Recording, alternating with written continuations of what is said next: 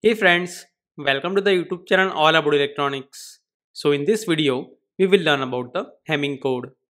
Now in the previous video, we understood the concept of the Hamming distance and we have also seen the very basic type of error correcting code. So we have seen that in case of the repetition code, the same bit is transmitted multiple times. But this repetition code is not very efficient code. For example, if we see this triple repetition code, then for sending a one bit of information, the two redundant bits are sent along with it. Or in other words, for a one bit of error correction, the two extra bits are sent. That means the two third of the total bits are the redundant bits. So for the same number of error correction, the efficiency of the code can be improved with the help of the Hamming code. So in case of the Hamming code, instead of sending the same bit multiple times, the extra bits are the parity bits. And these parity bits represents the parity of the certain bits in the oral code. So now let us see for a one bit of error correction how many parity bits are required in this Hamming code. So let's say there are m data bits and the k parity bits and n is the length of the code. That means this n is equal to m plus k. Now in the n bit of code, total n number of single bits error can occur, right? So these k parity bits should be able to recognize this and different errors. Moreover, they should also be able to identify the state of no error. That means these k parity bits should be able to identify total n plus 1 different errors. Now in the binary, using the k parity bits, we can represent total 2 to the power k states. So this 2 to the power k should be greater than or equal to n plus 1 or in other words it should be greater than or equal to m plus k plus 1. So this is the necessary condition for the Hamming code. Now whenever this m is equal to 1 and the k is equal to 2 then it is the case of the 3-1 repetition code which we have seen earlier. So here the 3 is the length of the code and 1 is the number of data bits in the given code. So with the 3 parity bits, the next very popular Hamming code is the 7-4 Hamming code where the length of the code or the n is equal to 7 while the number of data bits or m is equal to 4. Moreover, in this condition, whenever the m is equal to 4, then as you can see, the required number of parity bits should be equal to 3. So now let's see the encoding of this 7-4 Hamming code. So in this Hamming code, the parity bits are placed at the bit positions which is in the power of 2. So in this 7-4 Hamming code, the 3 parity bits will be at the position of 1, 2 and the 4. Now after we place the parity bits, then the remaining 4 bits are the data bits, where D4 is the MSB of the data and D1 is the LSB. So as I said earlier, each parity bit represents the parity of the certain bits in the oral code. And to understand that, let us represent these 7 positions in the binary form. So this parity bit P1 represents the parity of all the bit positions whose LSB is equal to 1. So in this case, it is equal to the bit number 3, 5 and the 7 and the parity bit P1 itself is at the position number 1. So this parity bit P1 is set such that the overall parity of this bit number 357 and this parity bit P1 is equal to even. So basically this P1 is the XOR of the bits which are at the position number 3, 5 and the 7. So as you know, the output of the XOR function is equal to 1 when the number of ones in the input are odd. That means in this case, when the number of ones in these 3 bits are odd, then this parity bit will be set as 1. And in this way, the oral parity of the 4 bits will remain even. Similarly, this parity bit P2 represents the parity of all the bit positions whose second LSB is equal to 1. So in this case, it is equal to the bit positions number 3, 6 and the 7. And the parity bit P2 is at the position number 2. So this parity bit P2 is set such that the overall parity of this bit number 367 and this parity bit P2 is equal to even. That means this P2 is the XOR of the bits which are at the position number 3, 6 and the 7. Likewise, the parity bit P3 represents the parity of all the bit positions whose MSB is equal to 1. So in this case, it is equal to the bit number 5, 6 and the 7. And the parity bit P3 itself is at the position number 4. So this parity bit P3 is set such that the overall parity of this bit number 567 and this parity bit P3 is equal to E1. That means this P3 is the XOR of the bits which are at the position number 5, 6 and the 7. And as I said earlier, the parity bits are at the bit positions which is in the power of 2. So to understand the encoding, let us take one example. So let's say we want to encode these data bits into the 7-bit Hamming code. So first of all, let us write down these data bits at their corresponding positions. So as we have seen, the parity bit P1 is selected such that the overall parity of the bits which are at the position number 357 and the parity bit P1 is equal to even. So here as you can see, at the bit positions 3, 5 and 7, the bits are 0, 1 and 1.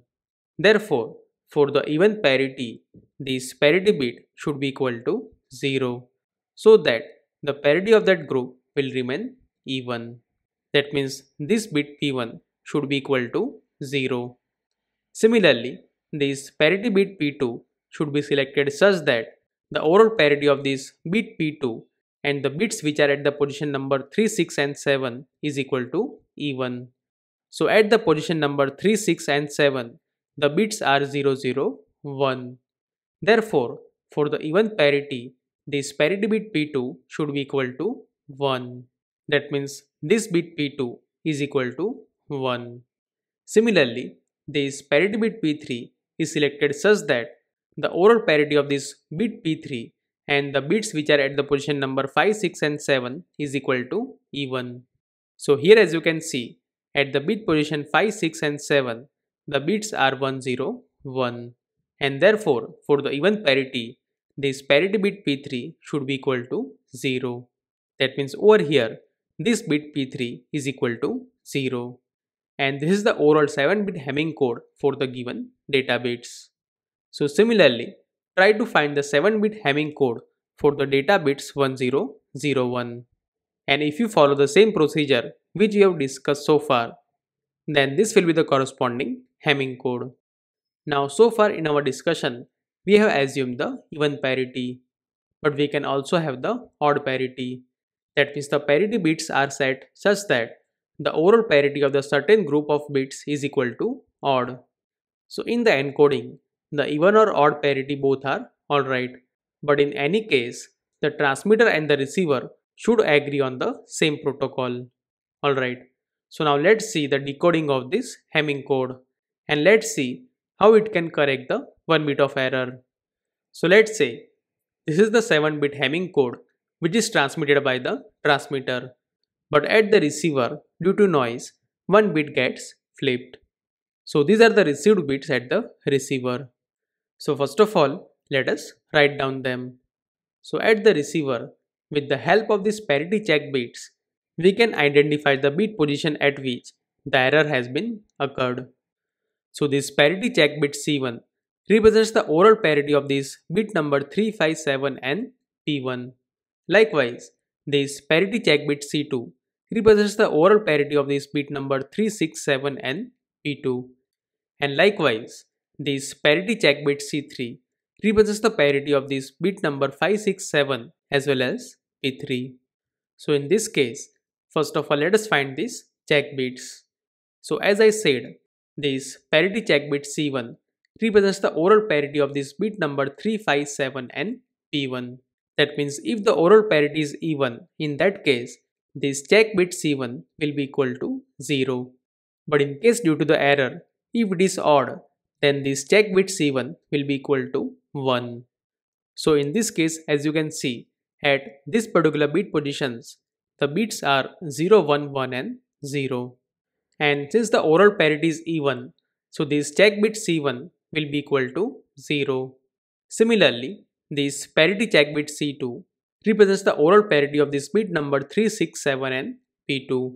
So in this case, at these bit positions, the bits are 0, 1, 1 and 1. And since the overall parity is odd, so this check bit C2 will be equal to 1. Likewise, this parity check bit C3 represents the overall parity of this bit number 5, 6, 7 and P3.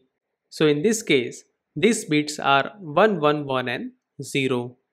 And since the overall parity of this 4 bit is equal to odd, that means this parity check bit C3 will be set as 1. That means these C3, C2, C1 are 1, 1 and 0. And in the binary, these 1, 1, 0 corresponds to 6. That means there is an error in this bit number 6. So just by inverting that bit, we can correct the error. So that is how the single bit error can be corrected using this Hamming code. Similarly, instead of the data bits, if there is a single bit error in any of the parity bits, then also it can be corrected.